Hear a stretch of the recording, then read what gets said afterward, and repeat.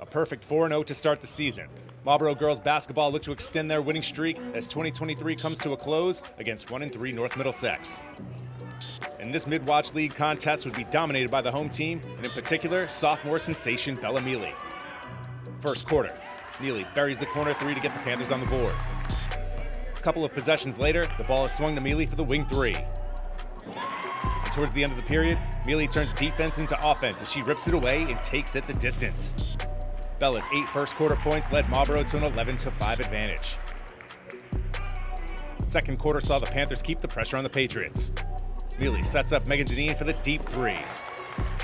Then it's Miele breaking down her defender, and the float game is on point. First year head coach Frank Green had to love what he was seeing out there as Carly Burgos drives, dishes to fellow senior Rose King, and King goes glass for two. Panthers were rolling going into the break up 30 to 10. And if there was any doubt in the first half, the Panthers put it to rest in the third. Marlborough wins the quarter 16 to 8, and Miele scored 11 of her team's 16. Here, she steps into the mid-range jumper.